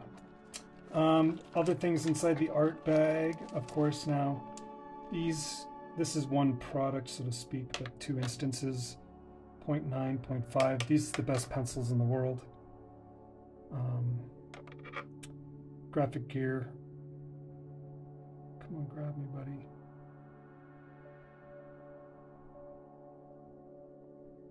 Graphic gear Pentel 1000s. They're a little bit heavy, but I like the heft. I have all the different lead sizes from 3, 4, 0.5, 0.7 to 9. I'm only taking two. I'm bringing back up lead just in case in the B flavor. I like a little softer. I'm pretty hard touch with, with that. Um, going to be bringing, so those kind of like pencils, one product, erasers, second product, just kind of nonchalant erasers. Uh, two of my favorite cheap pens. Uh, I recommend these pens to anybody. They're kind of cheapos. The 207 um, Uniball um, Pro. I like the feel of that, the Signo. Um, so that's a nice pen. And then I, this has been my go-to for over a decade, just as a go-to. I don't know, it's not the best in the world, but I, I just, the Vision Elite has just always been a consistently good pen. So I like the way it inks, feels good. Um, and then inside I also have, because of the geometry of the mandalas, I just got kind of, you know, some, some tools, triangles, compasses. So lightweight. But that's it. That's my art kit. Um, that's what I'll be bringing this this trip. So a couple pens. Um, should mention that I'm also, of course, going to be bringing my my notebook in whatever variation it finds itself in. By the time I get there, I may have another one started. So, but anyways, yeah, always have a journal as well for the experience uh, obligatory on my list and probably overkill for sure for you know amount of content is is my journal however um, this is my primary primary tool for recording everything and kind of getting ideas down. So it's definitely going with this. Uh, 17.35s yeah it's heavy and I'll pay for it but uh, one of those things that uh, it's kind of like can't go without. If you see this video and I went missing, pretty safe to say I'm somewhere within a mile of this place in February 15th to February 20th. But uh, I always like to do these cardboard signs when I hit elevation. Makes makes the trip kind of feel like a, a road trip of sorts. A road trip on your feet. A feet trip. Feet for feet road trip. Something like that.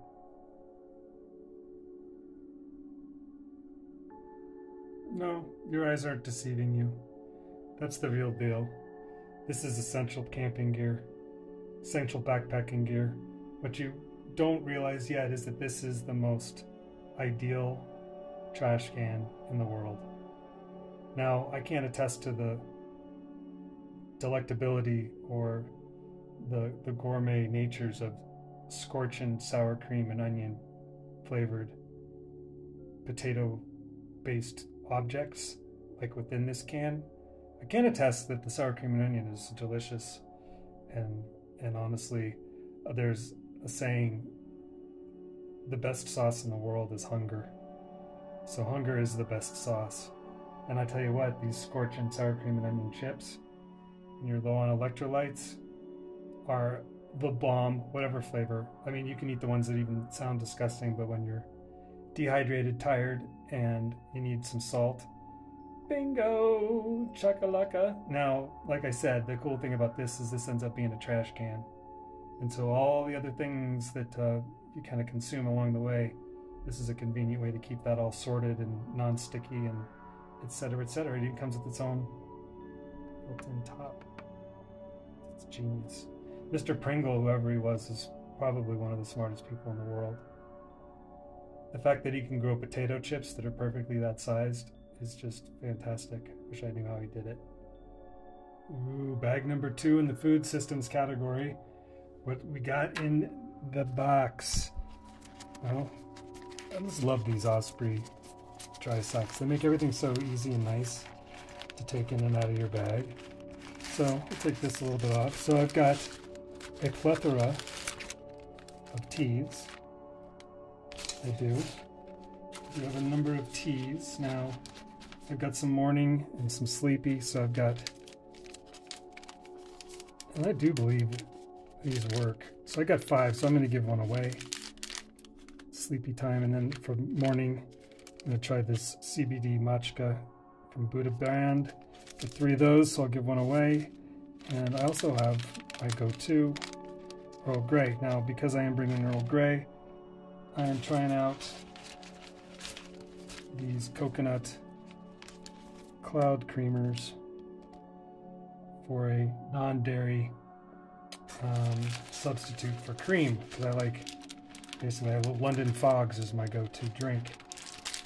Give me a London Fog, please. Just missing a little bit of honey, which I might solve. So yeah, so we've got some drinkable teas, creamers, one a day, keto, sugar things. These things are fun. Um, they're just nice little peanut butter sugar jolters. Um, and then I splurged these for one a day. These are just wonderful cannabinoid chocolates that help with muscle soreness that are wonderful. So that'll be my, my chocolate treat um, with cannabinoids for hiking and all that muscle soreness. So that's in that bag. And then I'm a sucker for a dark chocolate with orange zest. So I'm treating myself to a Beyond Good chocolate bar from Sprouts. I thought it would be kind of a cool addition. And then I got a secret passion. I hate this, but I like these so much. They're just full of sugar. But uh, these pure organics, um, whatever. They're fruit roll-ups, man. They're just basically fruit roll-ups for adults, and they're great. Um, but they're high sugar content, and so they'll bring your bring your sugars in alignment pretty quick. So that's my another sugar jolter. But then I just have some kind of different brands smoothie. Got a chia, and then from Costco, I enjoy these. Uh, got a lot of uh, fibers in them still, which is good. Whoa! Look at that. Oh wow, that thing reacts. That's the first time I've struck my gimbal. So that's it. I have, you know, basically smoothie a day. Um, got three of those, and then uh, chia squeeze. I think the only thing I'm really missing is honey um, from from the looks of things here, but uh, I'll put that on my list. Something to bring if I can find some sort of kind of makeshift honey, single use that makes sense. But uh, yeah, that's a bag number two. Dry bag number two, and this is 18.8 ounces. What's in the bag? show you what's in the bag. What we got in bag number two? I love these dry sacks. They, they make everything really easy to get in and out. So I got salad to go. That's fantastic. Nice and salty. I'm trying out the Brad's Crunchy Kale. So this is more of my salads. I got a breakfast in here. I love these sprouted lentils. I eat them raw. They're just great snack. High in fiber, all that fun stuff. Um, I got one breakfast here, an oatmeal, beets. Big kind of chocolate and beet guy. And then I got these two things on sale. So I'll have some protein backup for kind of trail walk and stuff like that. So that's bag number one. Well, folks, I discovered where a lot of the weight is. It's 45.8 ounces. Massive amount of weight. But it is dehydrated. It is my main meals. So looking into this first night, it's going to be awesome. Splitting that, that's a two-piece. One for my one for my hiking partner, one for myself. We're going to do that with this three mac and cheese. So I think those two together first night will be an awesome addition. Happy about that. Um, some breakfast option. I got uh, banana oatmeal. I also have that oatmeal that I had in the dry sack. For other dinners, however, we've got Mountain House chicken and mashed potatoes. I'll write up on that. And then, trying a new brand out. This guy specifically pointed this out as being awesome. Good to go. Smoked three bean chili. And for the fourth night, super high calorie, super high protein. Mountain House Pro Pack beef stroganoff, which is amazing. Now, I did bring, I think I'm guilty of my sweet tooth getting the best of me. One of the desserts I'm bringing is triple berry crisp dessert. Triple berry crisp dessert. Desserts too. So I'll be sharing that with someone. All right, another pound and a half. This is my fourth food sack of the trip. And uh, as you can imagine, it's uh, pretty heavy, pound and a half. Let's see what's in this guy. Let's see what I got myself. Oh yeah, more sweets. Gluten free. Blueberry peach crisps. Ooh, yum yum. Look at this. What the heck? Mango sticky rice? Get out of town. What does that even mean? I'm gonna find out. Oh yeah, now I do have a warm breakfast. Biscuits and gravy. I just, man, biscuits and gravy. How do you not like that? So this will be a love. And then the coup de grace. Oh, two coup de grace. Fatty. This is in the walkout aisle of REI, of course, right? This is how they get you. But this thing is, yeah, no nitrates, which is good. So we're going to give this Sweetwood Smoke Company barbecue. Gonna give that stuff a try. 11 grams of protein. Yum, yum. All right, but the coup de grace. Look at this. What the? What? What happened? What happened? This is it. Just add water. A, de- a decadently rich cream, creamy chocolate pudding with cookie crumb crust and toppy peanuts. All right, that's my last night. Right there. Weighing in at 2.95 is uh, the Outdoor Research Sahara Cap. Now, this thing is not going to get you a girlfriend if you're single. It's ugly but functional. And the sun protection on the neck area on this thing is is unparalleled in the hat world, really. I think it's a fantastic hat. I think it's I think it's just ugly. I don't think you can escape that. I mean that's just weird. It is this looks weird. And it is. But when you put it on, and this cinches around your neck, so this whole protection area gives you awesome sun protection. You can see.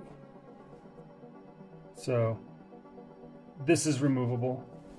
It's got a fairly complex way of uh, attaching itself. You have to do this Velcro, and you have to do it right. But when it does work, it's a it's a it's an integral part of the entire hat. So you can remove this and just have a cap, which is cool. Um, but I really like the the kind of trans the, the kind of the full neck and and uh, head area being protected double down right um, any types of layers because that sun's nasty out there um, but yeah this is a great hat it's like it's like I said it's just it's just got awful ugly nothing you can do about it um, you look like when you wear it you, you look you look like a dork and you look like you should be hiking the mountains um, so it fits in perfectly um, with the with what we're doing. So um, can't knock it. Gotta have it. Um, this is one of my favorite hats. It's just ugly. So there's I calculate to uh, you know I keep this spreadsheet on everything that I take out on each trip um, and keep all the detailed kind of data uh, close at hand, evaluating things. And now I'm sharing that kind of info with you. This is just the cataloging moment, right? So we're, we're going through, we're kind of identifying weight, we're identifying kind of value at a high level, and then I'm going to be doing individual individual shots, individual movies for each product. But here's the funny thing: um, philosophically, there's these things called types and tokens. So what I mean by that, right now I have over 168 types of product. Now there's a lot more tokens. Um, so what that means is I'm counting a product as band-aids or one product. So there's a lot of tokens under band-aids. I got smaller, larger, etc. So when I say 168 products, I'm saying that currently we got over 168 unique products with a lot more tokens than that. So there's one product category for, um, oops, gimbal fell. There's one product category for uh, oops, lost my train of thought. Nonetheless, um, back on track. This is one of those awesome, fun products. I won this in the company pool, and I had Argentina out of the gate, so that threw it over the top after I had already beaten the whole company in uh, guessing the correct scores, so to speak. But yeah, this is first place. I got uh, I got an Argentina jersey, which is super cool. I got to choose it. Um, the what I love about it, I mean, it's it's super meaningful, and I had a lot of pleasure getting to know the people over in the Netherlands.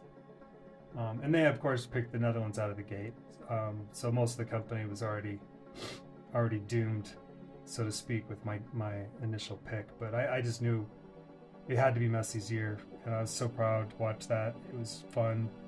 Uh, it was. I didn't drink the whole cup, which was awesome. First time, I just didn't feel like it. Uh, I, I, I, enjoyed it. It was great. It was the best cup ever, and I, I'm just glad I was completely there. And so, anyways, this this shirt though it has significance more than that. It's the material. It's ultra lightweight. It's a wicking. It, it, it's by design. It's made for people sweating. Dudes running marathons in 90 minutes, right? Uh, crazy people and so this is it's great. It's it's it's bacterial resistant, all the great properties you want for high energy, high high octane physical, you know, interaction with the environment. So this is just a great it's a great shirt. It's it's light too. I think where we were at, I've already measured it. It's 5.4. Um so yeah, as far as like so, you know, I'm going up there with the ExOfficio at nighttime, and uh, I'll have all the backup layers for any cold instances.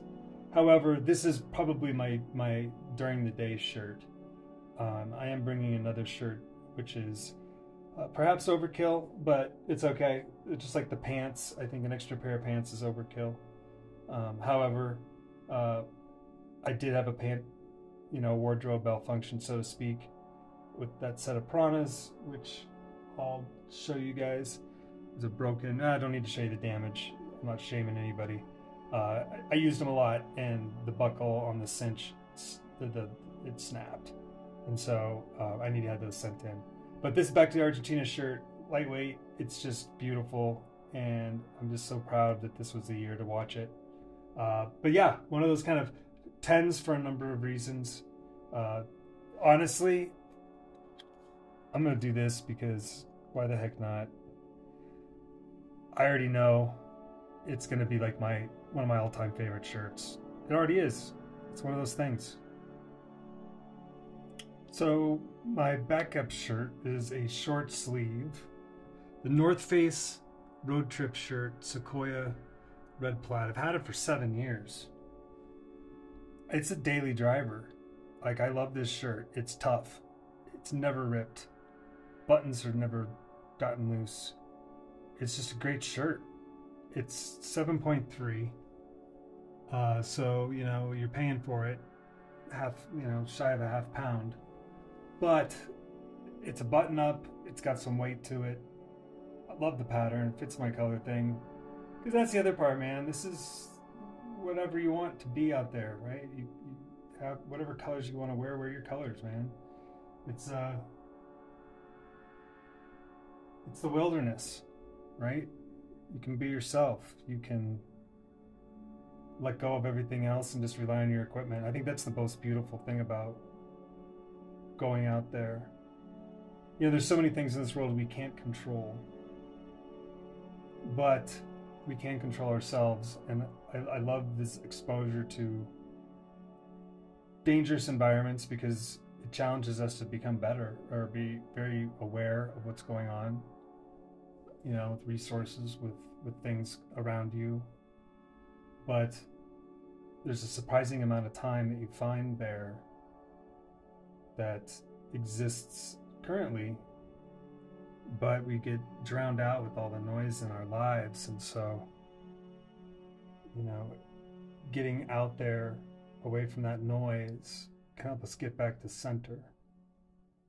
Um, so it's good to it's good to have equipment that you can rely on and stuff that's lasted seven years. So this is definitely nine.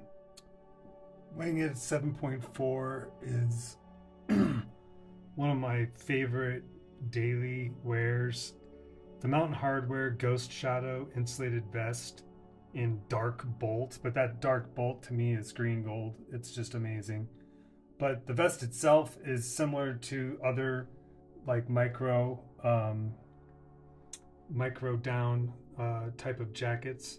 It's a vest, which is cool. So it's kind of funny if you think about the, your wardrobe, you kind of think of expanding uh, layers from your chest to keep that centrally warm. So you kind of progressively move throughout the body, but this gives you basically the, the, the best chest, back, torso coverage, but still allows you the feel, full use of your limbs um, if you're you know over sweaty, if you're walking fast. But you know, zip up feature is great. Um, it's lightweight. It's it's it's a great warm layer. Uh, it's definitely not wa- waterproof though. Uh, you don't want to get this wet. So it's it, has got a down inside, I believe. Could be could be a poly. Um, not sure, but we'll do the full review, um, individual review on this jacket alone. But uh, real pretty, real fun. Uh, great warm piece of uh, clothing. Ooh, you might be saying, oh wow, what is this delicatessen? What is this number 10? This is the Patagonia men's Houdini jacket, ultralight windbreaker, weighing in at 3.55 ounces. This is a definite 10. Um, everybody has their own way of rolling this up. I kind of roll it up into the hood and then cinch the hood down. But uh, this is gonna, this is one of those, just it's, it's just a windbreaker. Um, let's see, here's the hood. But uh, very thin, but made out of this wonderful material that uh, keeps you warm um, and at the same time keeps you uh, dry. It's just it's super light. It's it's just the color's amazing. This is like my favorite color, green gold of sorts. And I'll give you a better glimpse of the color there. get my lights kind of back. So this is my first real video with all this equipment and I haven't even hooked up the mics yet. So audio should improve after this series. But yeah, this is my first string together. I got all these ideas, all these fun stuff. But uh, this is the clothing section. Uh, we're at the Patagonia uh, Houdini jacket, and it's a delight. It's super light. You can use this as a long sleeve shirt, realistically, um, and an extra thermal layer underneath, you know, your outer shell. So it doesn't necessarily have to be an external, you know, wind or rain guard, right? A rain jacket because it functions just as that, but it's got so many other things you can use it for. It's also soft enough. Um, it's just nice, nice little, nice little jacket there. Ten for sure. This orange monster before you at 11.75, 11.8 is a Mountain Hardwear Quasar Lite jacket. It is the best jacket I've ever owned for backpacking. It seems as if this was designed by somebody who knew exactly what I wanted. Uh, it's got high pockets for your hands. Because remember, when you're backpacking, you've got a strap across going underneath your navel. And so the high pockets allow you to put gloves and stuff higher up on your chest as opposed to lower on the jacket, right? Um, the zipper itself has a, a, bifurcation, so you can zip it up full from from from bottom all the way to the top, which and stops right beneath your nose with everything cinched down. Um, totally waterproof. Um, but the bottom zipper also, say if you're like climbing, um, if you, if you need to get to your chalk, or if you need to get to carabiner, it's got a zipper that zips from the bottom up, so you can keep your warmth at the top, but also access your belt area. Um, it's a fascinating design. It, the material is just out of, it's from another planet. In fact, sorry, I should have swapped that before. This is definitely a 10 and definitely a star. It's, it's a crazy jacket. It's super thin. You wouldn't think it was so warm, but it, it just keeps the heat in. I wore this on, I forget, I don't know if it was Bierstadt which one. I have to re- rewind, look at the photos. But there was one uh, mountain I climbed. It was sunny. People were in their shorts, t-shirts. It was 75 degrees, and within 200 feet, 400 feet, things started changing towards the top, and we were literally 500 feet from the top of the mountain when this hit. A storm came in, and a lot of people started turning around beforehand it wasn't too black, um, but it was a storm nonetheless, and no no uh, lightning or anything. But it hit and it turned into snow real quick. It turned into a snowstorm. I I threw my pack down. I, I was already warm, um, but I only had three layers on. Threw this on that, and I have pictures of myself just standing on the top of that mountain during the middle of a snowstorm with this wind going by me, and I felt great. I just felt so warm and I almost felt like I was on the top of a mountain, which I was. Top of a 14er with this thing. So I don't know if I'm going to need it, but I'll tell you what. If it rains and all I have is that Argentina shirt underneath, this thing's in Arizona, unless it's like, you know, 40s, 50s, this thing's going to be too hot. So I'll use the the ultralight Houdini um, windbreaker for for those conditions. But if it gets cold to any degree, or if anybody else gets cold, this thing will warm them up. So fantastic jacket. I Mountain Hardwear. I only have two articles from them, I believe, but uh, just kind of a well-known brand. I can't fault them. I love the cinch on the whole head area. It just form fits. Everything is just really slim fit too, because I'm a slim dude and I need slim stuff to fit. And so I really like that aspect. So, you know, jackets like this have a high, a high, uh, I'd say, like uh, what do you call it, underpit, where the jacket actually comes up high in there, so you can get full articulation and move, you know, move around your pack, move your arms, climb while you're in these clothing. So it's meant for full articulation of your body um, so that's how these things are kind of form fitted and, and length is given where it's needed for s- circumstances where you may be throwing a hammer into a ice or something, an ice pick or whatever, where you need to stretch uh, or reach a boulder or whatever, whatever type of climbing you might be doing. So great piece, great piece. Uh, just bright orange, love it. So also really good for visibility on the trail. All right, sock time. Yay! Little funny characters. So I got so many of these like kind of the same REI smart wool. They, they all they all kind of look and have the same patterns. So There's nothing unique about them. So they all start blending together, and sometimes it's hard to find the mate because they're very similar. But so it's easy for my wife to misidentify, and I'll end up with different weight socks, and then just have. So this this method, it's like look at the look at the face on the inside. You can't you can't uh, see it when you wear it. It's just kind of an interior thing, but it helps me organize different eras of socks, different brands, you know, and just kind of see how long they last. And you know, if you lose a pair, you set the partner aside and look for his buddy. But it's kind of like that easier way to manage the socks, which I know if, if anybody's like me, that happens. So, anyways, socks are fun. Uh, different weights here. I got basically three sock types, all REI uh, brand. Uh, let's see, we've got the synthetic blend wool socks, medium weight, synthetic blend wool socks, lightweight, and then we've got uh, Eco Made Coolmax liner socks. I've been talked away uh, against these. I've never had an issue.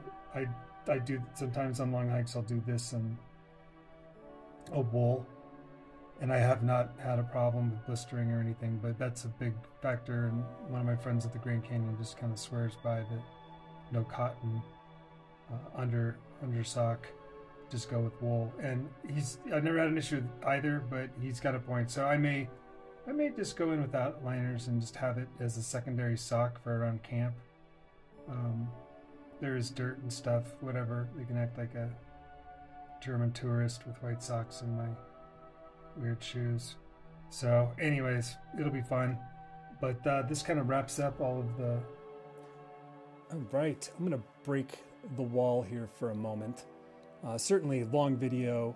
Intention here was to build a catalog, get the data, compile it, uh, get everything in a spreadsheet, and demonstrate uh, the breakdown of how products are organized, as well as kind of uh, how much everything weighs, costs uh, from a retail perspective. Also, give ratings um, and point out products that are star products, uh, products that are ultra light in nature, and ultra comfortable in nature. So all those data points um, have been compiled in a spreadsheet, and I'm going to show you that right now. So here we have the spreadsheet that I used to organize this uh, particular superstitions trip. Um, updated it. It contains all the data points that we just covered in that video, um, plus some additional um, information. So I, I, point out which products require power, which are waterproofed or water repellent.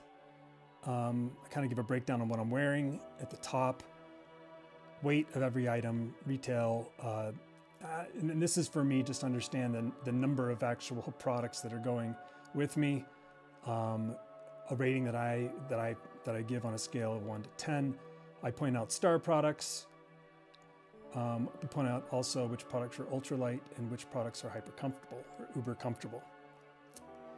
So, um, with that being said, we're breaking everything down. Um, there's links to where these things can be found on the internet for you if you're interested in those things.